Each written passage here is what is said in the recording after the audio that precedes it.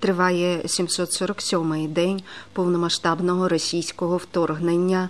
Українська армія продовжує стримувати окупантів на всіх напрямках і завдавати нищівних ударів по скупченнях ворожих військ і техніки. Збройні сили України знищили ще 920 російських військових.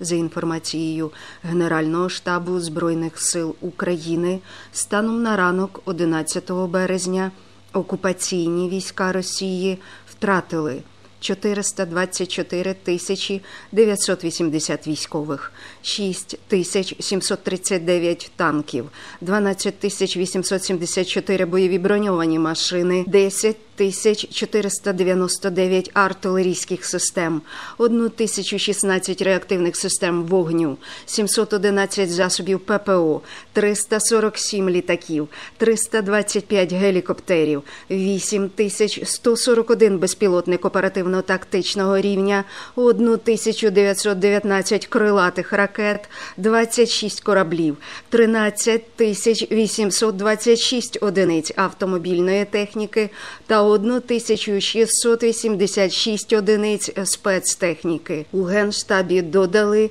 що відомості про втрати російських окупантів уточнюються.